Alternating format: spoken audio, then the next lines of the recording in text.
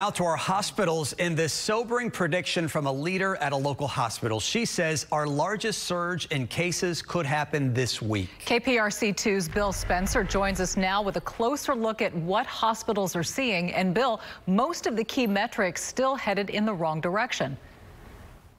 That's true, Chris and Dominique. In fact, just yesterday, the Texas Medical Center reporting a staggering 4,445 brand new cases. That's enough to give healthcare leaders, even at the highest levels, great cause for concern. The number of brand new COVID 19 cases reported in the Texas Medical Center grew by 580 people today. If this rate of infection and hospitalization continues, the vice president of Houston Methodist, Roberta Schwartz, says within days, Methodist doctors will see the largest surge in cases they've ever seen. We're growing at a rate of about 50 a day.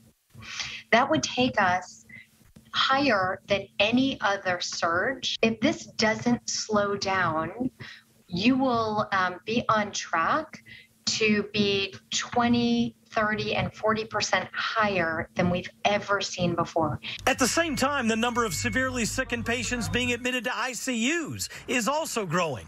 Within the Texas Medical Center, there are currently 1,404 ICU beds occupied.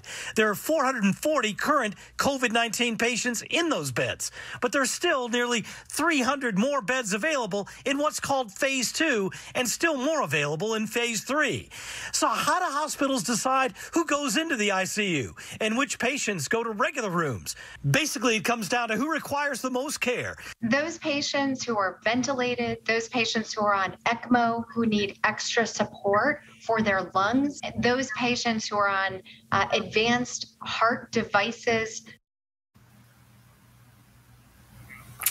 Okay, and also in the ICU, you got to remember it takes a lot more personnel, more staff members, doctors and nurses to take care of those very sick patients. In a regular hospital unit, it is one nurse for every five patients, but in ICU, it could be as many as two nurses for every one ICU patient. Reporting live, Bill Spencer, KPRC 2 News.